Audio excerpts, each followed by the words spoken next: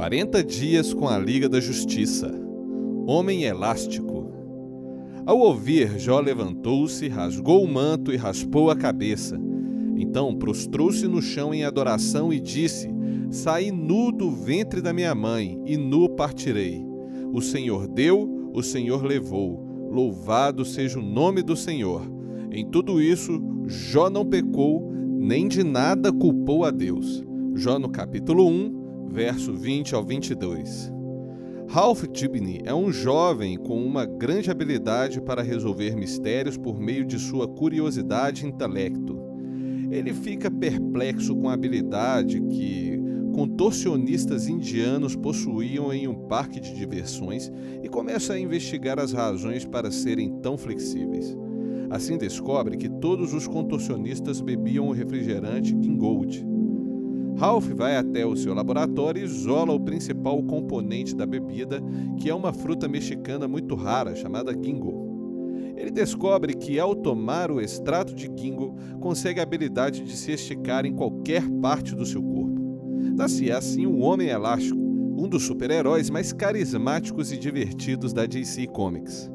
Ele cria seu uniforme para que também possa encolher e esticar conforme seus movimentos e passa a atuar como herói em Central City, ao lado de Barry Allen, o Flash, combatendo os crimes juntos. Algum tempo depois, ele foi convidado a integrar a Liga da Justiça América e a Liga da Justiça Internacional. Era casado com Sue Dibny, até que ela foi morta de maneira brutal Fato que mudou a história do personagem, pois deste momento em diante ele criou uma verdadeira obsessão por procurar formas de tentar trazer a sua amada da morte, praticando culto ou cultistas ou mesmo pactos demoníacos sem nenhum resultado. O preço por essa jornada insana foi sua própria vida, pois acabou morto por um dos demônios que procurou. O Homem Elástico não conseguiu superar a morte e a perda de sua esposa por isso entrou em ciclos sucessivos de decadência que culminaram em sua morte. A maneira como reagimos aos momentos difíceis e desafio em nossas vidas revela nossa espiritualidade e estado emocional. Com certeza, a dor de perder alguém a quem amamos é indescritível, mas isso não pode nos mover a abandonar tudo que já recebemos de Deus para procurar respostas em outros lugares. Precisamos compreender que, como cristãos, não estamos imunes a desafios, crises e problemas. Vários textos nos falam a respeito disso, como por exemplo: Então Jesus disse aos seus discípulos: Se alguém quiser acompanhar-me, negue-se a si mesmo, tome a sua cruz e siga-me. Mateus, no capítulo 16, verso 24. Eu lhes disse essas coisas para que em mim vocês tenham paz.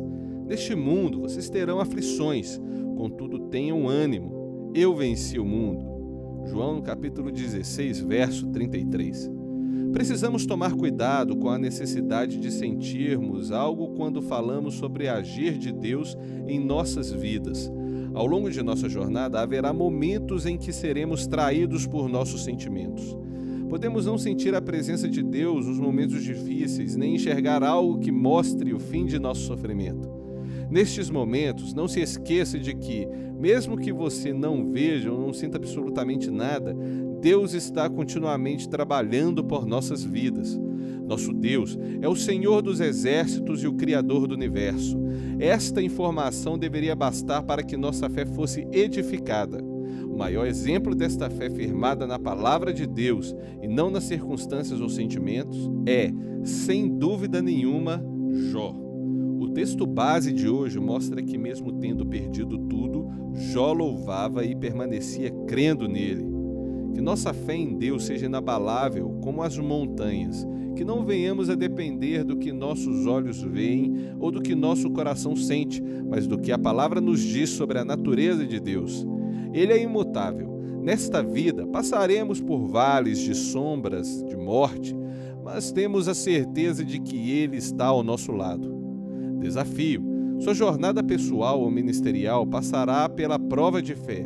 Neste sentido, leia a história de Jó em espírito de oração, para que a mesma fé deste grande homem de Deus esteja sobre a sua vida.